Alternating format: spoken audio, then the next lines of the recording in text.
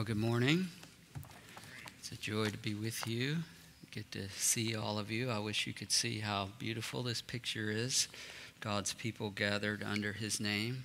Some of you have lived uh, all over the world, and some of you in third world countries, and those of us who have are particularly thankful for a lot of elements of Western civilization that we enjoy day by day. But Western civilization increasingly operates under a worldview otherwise known as materialism.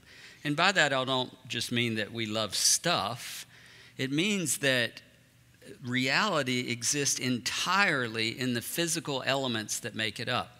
In other words, just as God has given us uh, senses that enable us to enjoy uh, beautiful weather and beautiful things and hear beautiful music and and enjoy uh, touching and, and all of the things that our senses allow us to do, that is not the sum total of reality.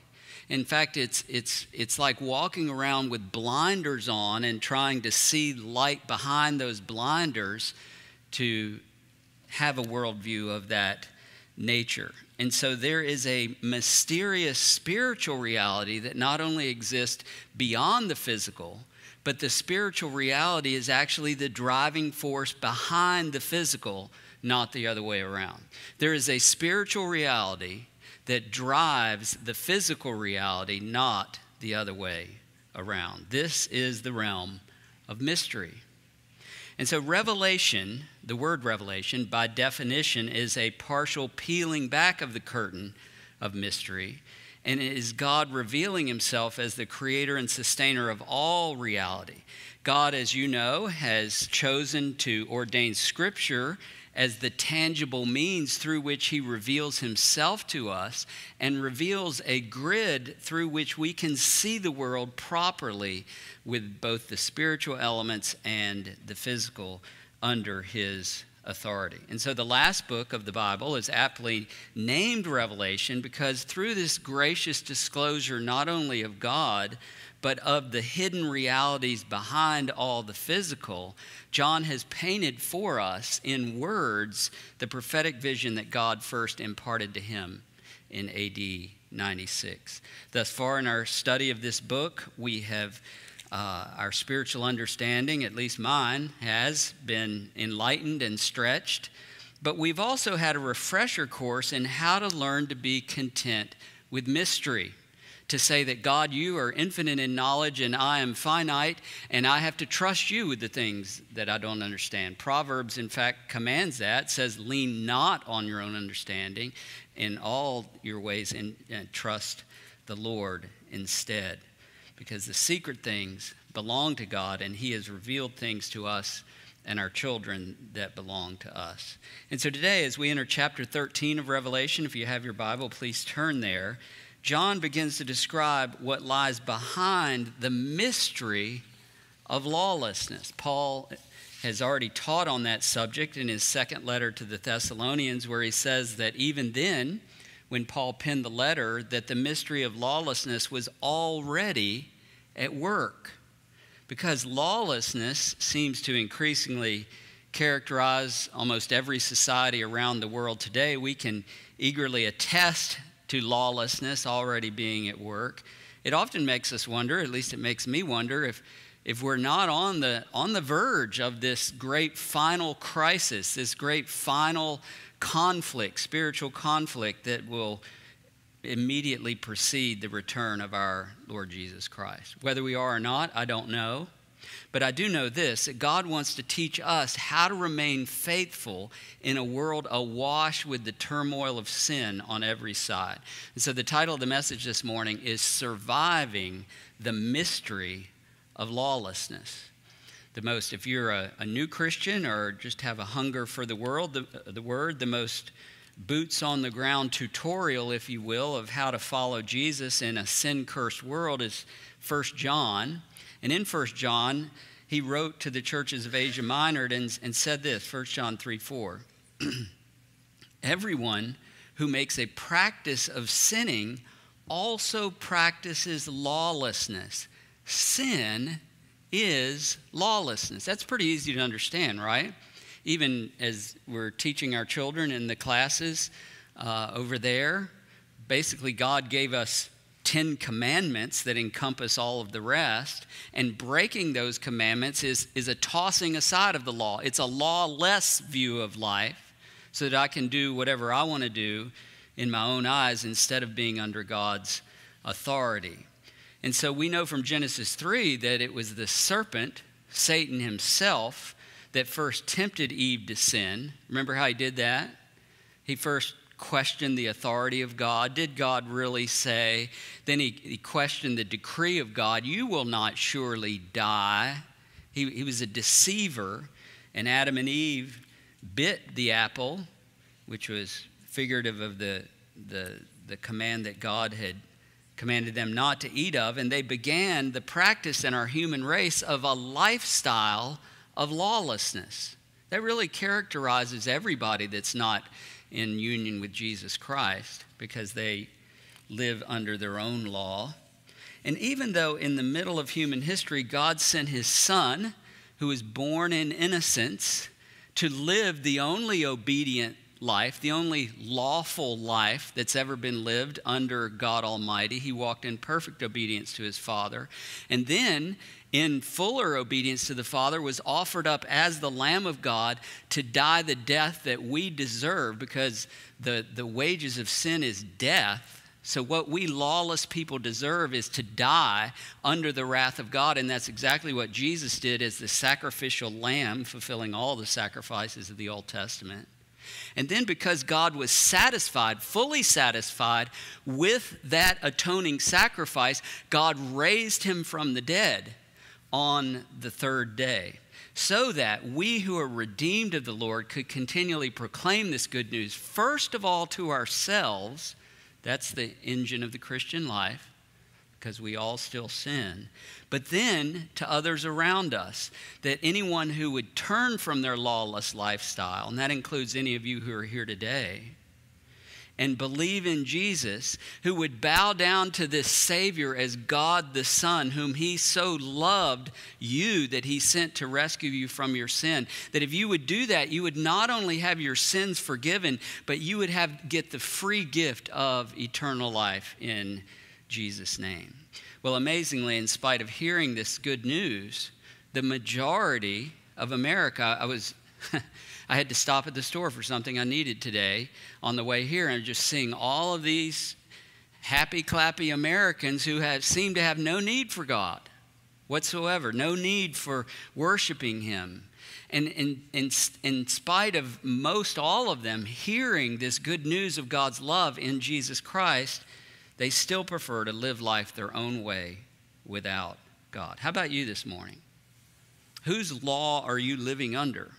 You're either living under the redemption that's in Christ Jesus so that you can walk in his ways by faith in this Savior, or you're still walking in lawlessness. My prayer is that's true of you, that God would grant you repentance, that you would walk in the goodness of giving him glory instead of trying to live for the glory of yourself. well, last week, as we finished chapter 12, we saw this dragon, this insidious monster, standing on the seashore. He hates Jesus and he hates God's people, and he was enacting, about to enact a strategy of how to wage war against the risen Christ, who he could not get to in heaven, and particularly against his saints, his people, the church on the earth. And so look with me at Revelation 13, beginning in verse 1. Excuse me.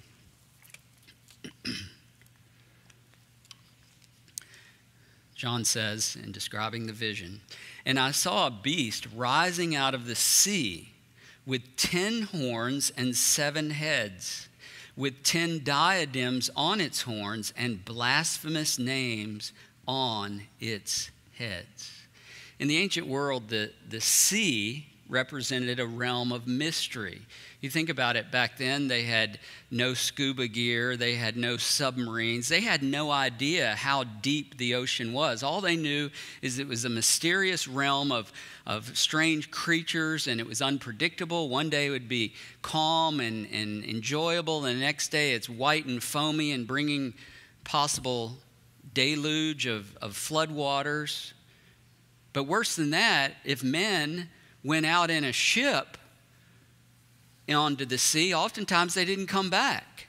And so the sea became a, a, a depiction or a figure of the abyss. It's symbolic of the abyss. In fact, that's one of my greatest grievances in the flesh is that in Revelation uh, 22, it says there will no longer be any sea. And I'm hoping that is somehow figurative for the bottomless pit because I like the ocean, but sorry to distract us.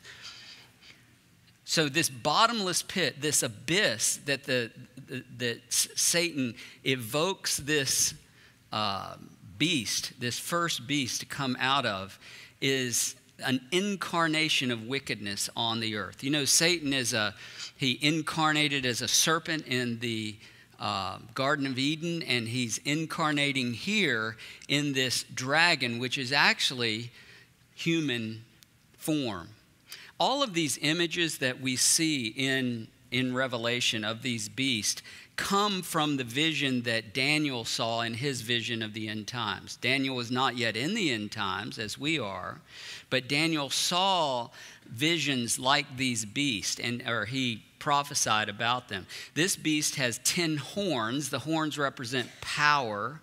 It has 7 heads representing intellect. It has a lot of craftiness. It has 10 crowns on upon the horns. In, in other words, the horns are power, and so a lot of commentators think it's political power. So he has a, a, a great deal of, uh, he's going to be a political ruler. D- does 10 horns and seven heads and crowns upon uh, them sound familiar? Well, last week we saw that that's exactly how the, the dragon, Satan, was described. This beast is an image bearer of the dragon. Allow me to pause and give you some interpretive comments here. I think it would be helpful because I know there's a lot of different ways that people interpret uh, and have in history uh, the book of Revelation. Christians who interpret the book of Re- Revelation as simply a historical timeline of future events they see all of these prophecies as, as somehow taking place in the future, conclude that the first beast John describes here will be a singular individual, and that uh, a, a charismatic, demonically empowered world leader who unites all political systems across the globe and installs himself as the God of the world. And the, the text certainly allows for that. That's not a totally illegitimate possibility. But I don't believe that is the, the whole application that God has in mind as he gave this vision to John. And I don't think that's exactly what John thought as he recorded it. Because Paul makes it clear in the letter to 1 Thessalonians that there will be a singular individual, a man of lawlessness, Paul calls him, the Antichrist, Paul calls him and that he will, and we're going to see that in the, the, the, coming chapters of Revelation, that there will be one incarnation of wickedness, one man of lawlessness, who, empowered by demons, will establish himself as a counterfeit God on the world stage, large, leading a large geo, geopolitical movement of hatred towards Christ and his church. And John, who gave this revelation, was not unfamiliar with this teaching, this concept. A lot of it comes from the book of Daniel. But I think it's interesting that the term Antichrist is not found anywhere in the book of Revelation. John, who wrote letters using that term, chooses not to use it as he describes the vision that he saw. And so John tells the churches why that is. And I believe this is a, the best application uh, from my study of the passage that we're looking at this morning. This beast, this first beast, represents an ongoing strategy of the devil throughout the church age. Listen to how John testifies to that in 1 John 2:18. Children, it is the last hour. And as you have heard that Antichrist is coming, so now many Antichrists have come. Therefore, we know that it is the last hour. And so, sometime prior to 96 AD, when he penned Revelation, John, who wrote Revelation, declares that it is the last hour. Was he deceived? Did he somehow have glasses, uh, cloud uh, scales over his eyes? No, I don't think so. I think that he is using the last hour there the same way that Peter and Paul and others use the, the term last days to describe God's timeline, the period between Pentecost and Christ return. Because when Peter begins to teach about and prepare his disciples, those he's writing the letter to, uh, for the how to way, how to prepare for the last days, he declares that God is in no way tardy, that God's timeline is different than ours. Listen to 2 Peter 3 8. But do not overlook this one fact, beloved, that with the Lord, one day is as a thousand years, and a thousand years as one day. Instead, Peter says, God is patient towards you and not wishing that any should perish, but that all should come to repentance. And so I believe that John sees this beast, Satan's counterfeit incarnation of himself, as a repeated human embodiment of the devil in almost every generation. Maybe not every generation, but certainly many generations. For instance, Nero, the Emperor Nero in Rome, everybody across the board agrees that he was the, the first manifestation of what John is talking about here in Revelation chapter 13. And then later, many antichrist type of political leaders come into play. We think about Hitler, who was so demonically inspired and, and also often spoke in a different tone of voice once he came into power as the Fuhrer. And so, this Satan's counterfeit incarnation of himself is a repeated human embodiment of the devil in almost every generation. Look at uh, 1 John 2:22. Who is the liar but he who denies that Jesus is the Christ? This is the Antichrist. He who denies the Father and the Son. If you look it up in the Greek, those articles are there. He's not talking about just the spirit of the Antichrist, although he talks about that in other verses. He, God wants us to see through our study of these visions is, is a big picture to pan out and try to grasp the ugliness of demonic activity that is behind the physical realities we're seeing playing out in our day. Not just because we might be approaching the return of Christ, which I pray that we are, but because this has been the pattern of Satan's rebellion against God and hatred for his people throughout the church age. So we want to do that so that starting in our own heart, and young people, as you venture out into new uh, spheres of life, that, that's, that's so important that you understand that the, the first area of responsibility is your own heart. The first area of responsibility is not what other people think about you, but it is my heart following in the Lord and trusting in Him, or am I being deceived by my own emotions and the thoughts that Satan puts in my head. So God wants us to discern the difference. He paints these, these horrific pictures of the battle between Satan and God so that we can learn to trust in him with all of his heart and to recognize Satan is eager to put doubts into your mind, often through his instruments, other people, that cause you to doubt the goodness of God. 1 John 4 2 and 3. By this you know the Spirit of God. This is how we discern. Every spirit that confesses that Jesus Christ has come in the flesh is from God, and every spirit that does not confess Jesus is not from God. This is the spirit of the Antichrist, which you heard was coming and now is in the world already. This is in the 90s. This is 2,000 years ago. Satan depicted here as a dragon, is the spirit of the Antichrist. And throughout history, he has and will continue to summon up men to act under his demonic power as his beast. Think about that word. What's a beast? A beast is not your pet dog. A beast is an untamed, ferocious, slobbering, rabid animal that you need to be concerned about. It's not safe. He's bent on man's destruction. And so, my exhortation, in line with John's, is instead of trying to match up every evil leader and every world event with whether this may be the Antichrist, be on the alert against every person, every spirit, every teaching that raises its head against the gospel. That's your job. You do that, we do that, we're in good shape.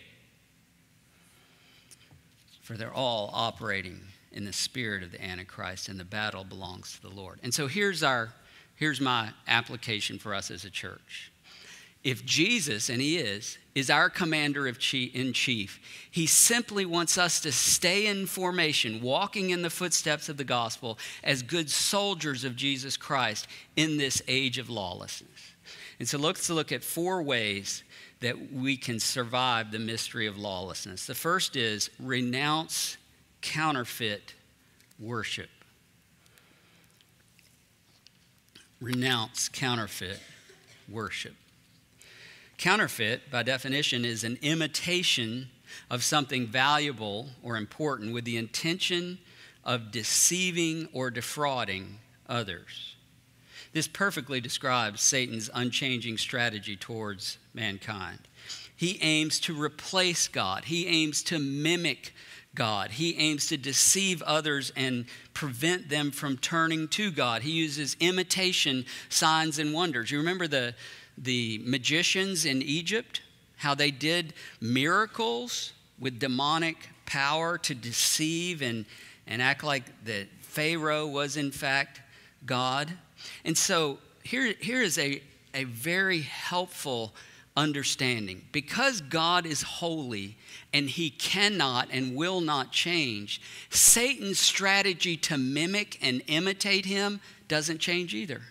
His strategy is always the same. He's, he's like a, a successful football coach, if you will.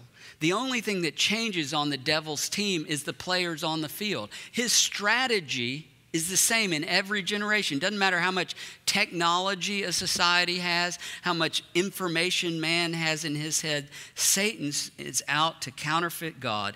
And here in Revelation 13, we see him creating a counterfeit trinity.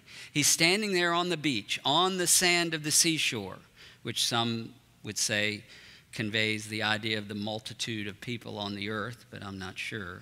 But he's standing there masquerading as God the Father.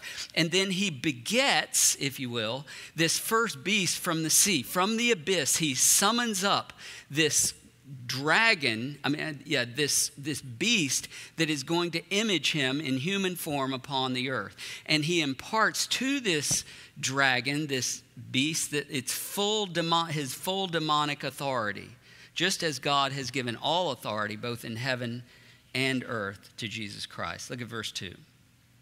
And the beast that I saw was like a leopard. Again, this is coming from Daniel's prophecy was like a leopard, and its feet was like a bear's, and its mouth was like a lion's mouth. And to it the dragon gave his power and his throne and great authority. And so Satan is empowering this beast, utilizing the power of politics and media and carnal appeal to dissuade people from recognizing that their main problem is not what's going on in the world, but that they have a sin problem before God and that they need a Savior. He even goes so far as to mimic Christ's resurrection. Look at verse 3. One of its heads seemed to have a mortal wound. Mortal is something that causes death. Have a mortal wound, but its mortal wound was healed. And the whole earth marveled as they followed the beast. And they worshiped the dragon, for he had given his authority to the beast. And they worshiped the beast, saying, Who is like the beast? And who can fight against it? Young people, again, I was writing this sermon. I didn't intend to focus on you, but I think the Lord wants me to that the goal, the one ultimate purpose that God has created all men, all women for, is worship. It's not success, it's not self actualization, it is worship. And if you don't, if you refuse to worship the Lord God who created you, who formed you in your mother's womb, and if you're born again, has caused you to become a part of the new creation of God, if you refuse to worship Him, you will worship Satan or one of his emissaries. You may not be aware that you're worshiping the devil, but you will and are. Notice the parallels here. The unbelieving world marvels at the counterfeit resurrection of the beast and starts following him. Nobody can figure out what this mortal wound that appears to be healed. Some would say that uh, those, especially that say that the Antichrist is only Nero there in the first century, that uh, he uh, kind of faked suicide and hid for a while and then he came back. So, possible, I don't know. In some way, the beast uh, mimics Christ's death and resurrection. He's an imitation Savior, and he makes unlimited promises of health, wealth, and happiness to those who uh, believe in him. And he points people to the dragon who sent him. They're even crying out in false worship. You see that at the end of, of verse 4. Who is like the beast and who can fight against it? What that is, is it's, a, it's a replacement for what our hearts are designed to do. Listen to David in, in Psalm 89 6, speaking about God. For who in the skies can be compared to the Lord? Who among the heavenly beings is like the Lord? There's none like our God. But Satan is out to convince you that his counterfeit is even better. Verse 5 of Revelation 13. and the beast was given a mouth, uttering haughty and blasphemous words, and it was allowed to exercise authority for 42 months. You recognize that time stamp there, that time frame of three and a half years, 1,260 days, I think it was, 42 months. It's the same one that we've seen in the last few chapters. It's the same time stamp that Daniel gave in his prophecies about the end times. And I would offer to you, in line with most of the reformers, that this time period is, is a consistent figurative way of describing the church age because the devil, through his agents, has been profaning God and his people all through the church age. He's been saying irreverent things and cursing our king, and God allowing him to rule over lost people for the entire inter Advent period, whether that be Nero or Hitler or whoever you want to assign, any world leader on the screen today. Look at verse 6. This beast opened its mouth to utter blasphemies against God, blaspheming his name, his dwelling, that is, those who dwell in heaven. We've told you this before, but as you study Revelation, take note that this phrase of those who dwell in heaven is referencing believers, and those who dwell on the earth is always referencing unbelievers, those that are under the ruler of this world, the present darkness, Satan himself. And so God is in, in, in his word here is, is referencing not your current address, but your positional authority. Either you are believing in Jesus and have died with him uh, to your sin by believing that his death was your death on the cross, and you have been raised with him and are now positionally seated at the right hand of God.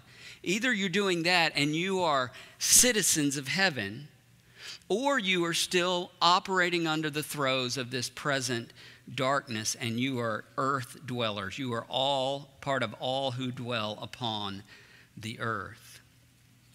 And so the demonic, demonic domination of man's hearts is already global. That's why Satan is called the ruler of this world.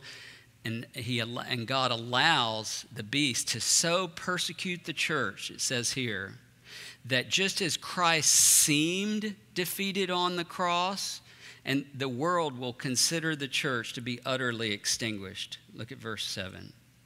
Also, it, the beast, was allowed to make war on the saints and to conquer them and authority was given it over every tribe and people and language and nation. And all who dwell on earth will worship it. Remember, earth dwellers. Everyone whose name has not been written before the foundation of the world in the book of life of the Lamb who was slain. And so the beast desires nothing short of total dominion over the earth's population as an imitation Christ, he simply wants to be what Jesus is, which is the head of God's people.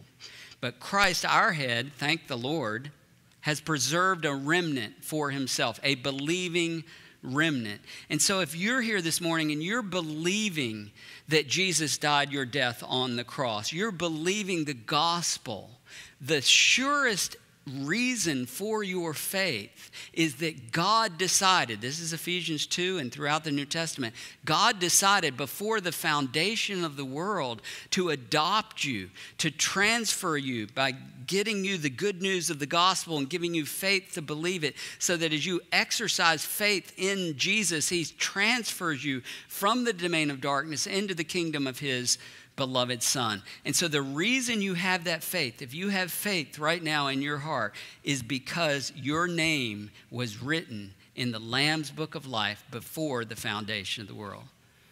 That, that brings so much security some of you, like me, had grew up in church and, and you've always kind of cognitively believed, and then you had a time when, when, when you believed a lot and you kind of lived for Jesus, and then maybe you went off to college or whatever, and you, you got into sin and, and you weren't acting like a Christian at all. You never thought about God, and then all of a sudden God turned on the light bulb and showed you the ickiness of where you were living in the world and, and you, you repented and began to follow Jesus and you were like, well, was I saved at 8? Was I saved at 19? Was I saved at 20? I don't know. Here's what I know.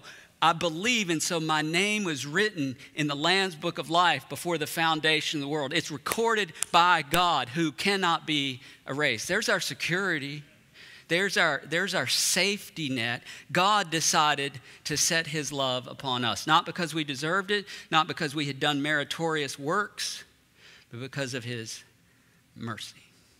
So we could give him all the glory and stop taking credit ourselves. That's true of you. Renounce all counterfeit worship. Renounce these idols. That's the first means of surviving the mystery of lawlessness. Second one, practice patient endurance. I don't know about you, but one besetting sin that I battle every day is impatience. I'm not proud of that, but it's true. Day by day, the Lord, through many trials, is teaching me to wait upon Him and believe that His timing and His ways are better than mine. But really, that, that's indicative of the whole Christian life. We're, we're a people who not only gather together on Sunday morning, but walk with Jesus day by day and, and want to live for his glory. And we are waiting upon the Lord. We're waiting upon him to consummate this kingdom that he has begun in our hearts and the hearts of believers all over the world, and that he will complete it in just the right time. John understood this. And it's not incidental that he opened this book of Revelation this record of his vision by identifying with all who are, guess what? Waiting upon the Lord. Look back at Revelation 1 9. I, John, your brother and partner in the tribulation, already happening, and the kingdom and the patient endurance that are in Jesus, the patient endurance that are in Jesus. Only God gives us faith to trust in Him and depend on His timetable. John was on the island called Patmos on account of the Word of God and the testimony of Jesus. And so to be in Jesus is to trust that all of time is in His hands. I, I have to share with you that I'm blown away almost every Sunday. I, as, as we select songs to be sung, how I, I don't plan for the lyrics to match what God is going to say through His Word, but they often and almost always do. All of time is in his hands. Remember, we sang that? Our job is simply to submit to the leadership of his spirit and to be empowered to walk by faith in his footsteps one day at a time. One day at a time. That's why, on the heels of the unsettling news of the beast being allowed to conquer the saints, the Holy Spirit led John to quote from Jeremiah's prophecy. Look at Revelation 13 9. If anyone has an ear, let him hear. If anyone is to be taken captive, to captivity he goes. If anyone is to be slain with the sword, with the sword he must be slain. Here is a call for the endurance and faith of the saints. In other words, your faith in Christ cannot be conditional on what type of lifestyle you prefer. God led his own son to the cross, his own son, innocent, righteous, led him to the cross to redeem us. And he will likewise lead those who actually follow Jesus to adopt this prayer as you're charting the course of your life. Lord, not my will, but yours be done. Come what may. If you have me going into captivity for my faith, if you have me dying for my faith, not my will, but yours be done. That's walking in the footsteps of Jesus. Remember Mary, when she learned about the uncharted waters God was calling her to walk through, she said, Lord, be it done to me according to your word. I'm your servant. Here's why because the, the, the sum total of, of what Christians live for is the glory of God. Lord, it's not my decision about how you want to be glorified in my life. You decide I'm just out for that product of you being glorified, not me being happy, quote unquote. Can you commit to that even now? Especially those of you who are in the process of making decisions about your future. Lord, empower my faith to endure whatever you might allow to come until the day when I see Jesus. Third way of surviving the mystery of lawlessness is beware of religious impostors. the third component of Satan's counterfeit trinity is another beast, but this one is not from the abyss, and this is pretty significant. He's not from the sea, he's from the land. Notice how this beast seeks to impersonate the Holy Spirit. Verse 11. Then I saw another beast rising out of the earth. It had two horns like a lamb, and it spoke like a dragon. It exercises all the authority of the first beast in its presence and makes the earth and its inhabitants worship the first beast whose mortal wound was healed. And so this beast comes up out of the earth. Most uh, interpreters, and I agree with them, believe that this is not coming from hell.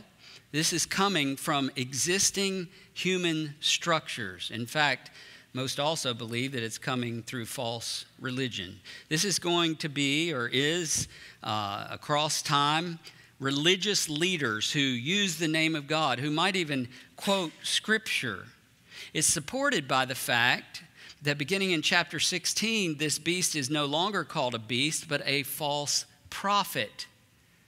Look at how the counterfeit trinity is depicted as operating in de- demonic solidarity there in verse chapter 16, verse 13. And I saw coming out of the mouth of the dragon, remember he's depicting God the Father standing on the seashore, and out of the mouth of the beast, that's the, the one that came up out of the abyss, and out of the mouth of the false prophet, three unclean spirits like frogs. They all have the same evil spirit. And so in God, the primary role of the Holy Spirit, the third person of the true Godhead, is to convict the world of sin, righteousness, and judgment and point people to worship Jesus. If you're seeking the Holy Spirit, that's a great thing, but the Holy Spirit wants to point you to Jesus. He wants to give you faith to trust in Jesus, to walk in Jesus' footsteps.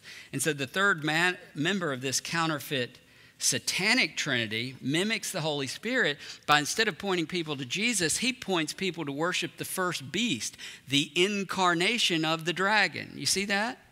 This human, demonically filled man that will bring glory and point people to the dragon. He's the incarnation of wickedness on the earth. Look at verse 11 again. This third beast, this false prophet, looks like a lamb. He has two horns like a lamb, not two horns like a cow, not two horns like a deer, not two horns like, like a moose. He has horns like a lamb, and yet he speaks like a dragon. His teaching, in other words, remember he's the false prophet, is of the dragon. He does not bring words of eternal life, he seeks to bind people to eternal death.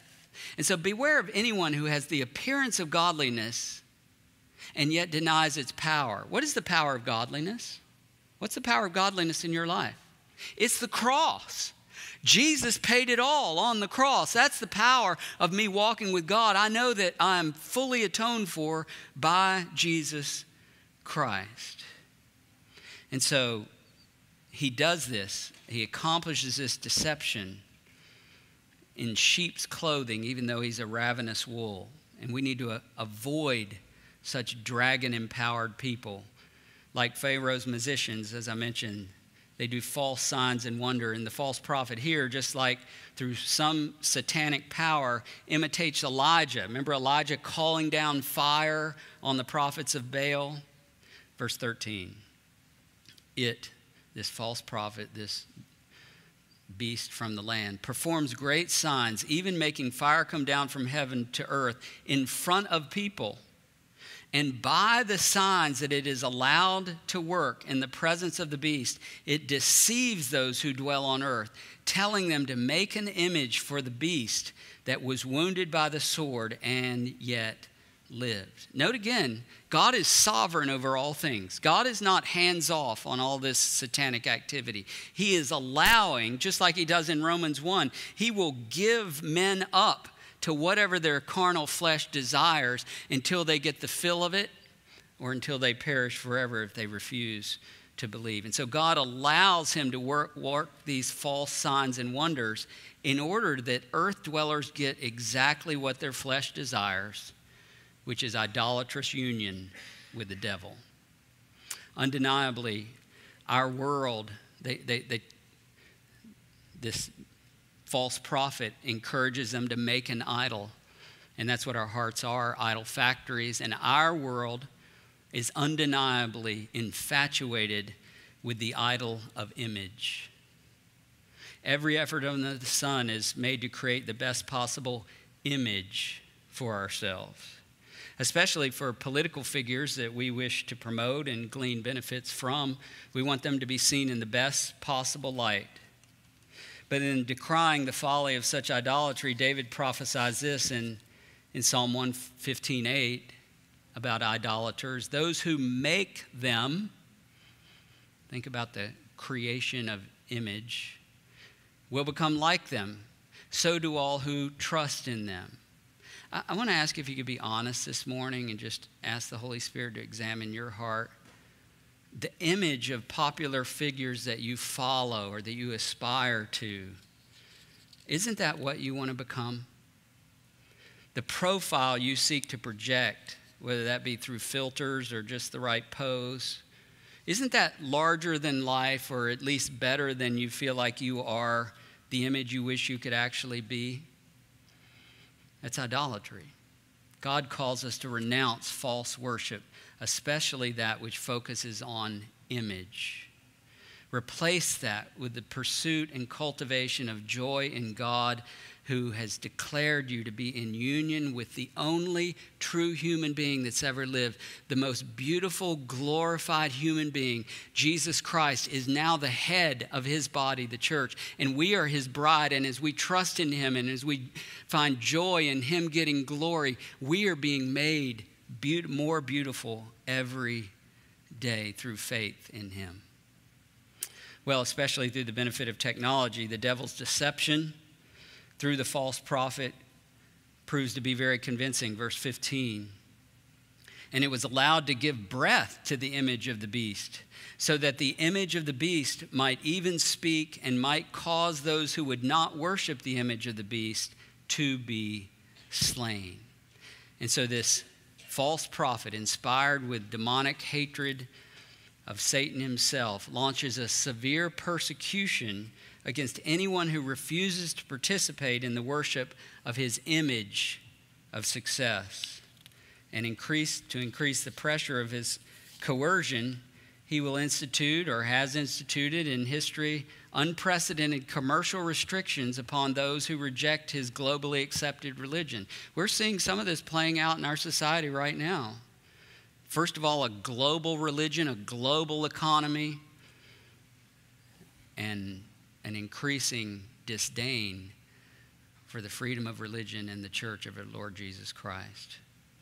Verse 16, and it, this false prophet, causes all, both small and great, both rich and poor, both free and slave, to be marked on the right hand or the forehead, so that no one can buy or sell unless he has the mark, that is, the name of the beast and the number of its name.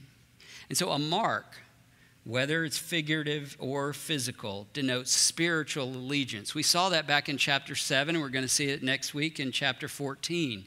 That God sealed on their foreheads or marked his people before all of this was unveiled to us. He wanted us to know, first of all, that his chosen people were marked and sealed on the foreheads, they were marked by God.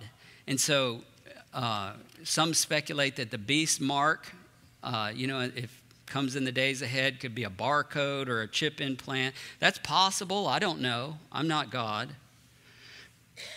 But what is crystal clear is that followers of the beast will be clearly distinguished. Right now, or, or I shouldn't say right now, but in past generations, the, the strategy of Satan has been largely for, for uh, there not to be a whole lot of distinguishing characteristics between Christians and unbelievers. But this this will bring about a clear distinction. Again, no middle ground. You're either on one team or the other. And so the Bible contends that the only preventative measure about if you're concerned about being marked by the beast as belonging to Satan is to ensure that you're marked by Christ. And that's our last way of surviving the mystery of lawlessness. Be marked with Christ. You remember how as before God brought the angel of destruction uh, uh, over Egypt. He commanded the Israelites to mark the outside of their doors with the blood of the Lamb. And he later commanded them to make formal remembrance of the Exodus as a mark on their forehead and on their hand through their, their remembrance of the Exodus. The preventive measure that God calls those who follow his Son to take is to be marked by the blood of the Lamb. That means that your identity is completely in the fact that you are washed in the blood, that you are under the blood, that Jesus is your head and you are part of his body. And so dis, to displace intentionally, execute this in your in your daily thinking. To displace all the apprehensions and dread as you watch the news or you think about the future. All the apprehensions and dread that stem from worrying about whether you will be able to buy and sell. Or whether you'll even suffer martyrdom. With an active fear of God and a safety and security that your name is written in His book and that you are washed in the blood of His Son. The imagery of you being marked on your forehead is indicative of your thought life. That's why God sealed his servants with his Holy Spirit on their forehead. I mean, we can talk about the feelings that we feel down in our chest cavity, but the Holy Spirit is really sealing our thought life and causing us our thoughts to be in line with Scripture. And the mark on the hands indicates the deeds that come out of our thought life. And so God wants us to declare our allegiance to Him and have no fear of those who threaten to harm you for doing good. Instead, if I identi- instead identify with Jesus, and you will increasingly, this is the command, as we seek to endure whatever darkness comes, this mystery of lawlessness, is to stand firm against all demonic threats and to take comfort that God will miraculously provide for his servants because only he is sovereign, not Satan. Last verse 18. This calls for wisdom. And let the one who has understanding calculate the number of the beast, for it is the number of a man, and his number is 666.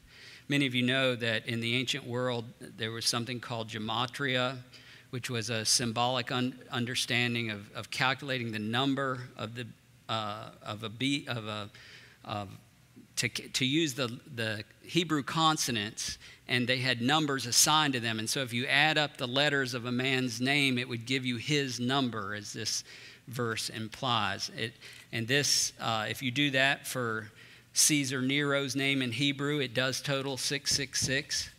But for the past 2,000 years, eager interpreters have wrote millions of pages about how, who this uh, man of lawlessness, this false prophet, this beast might be. But the wisdom and understanding called for here can be none other than the discernment that God gives his saints enabling them to see through the delusions of the devil and stand firm against them in Jesus' name. Let's pray that God will give us grace to do that and bring him glory.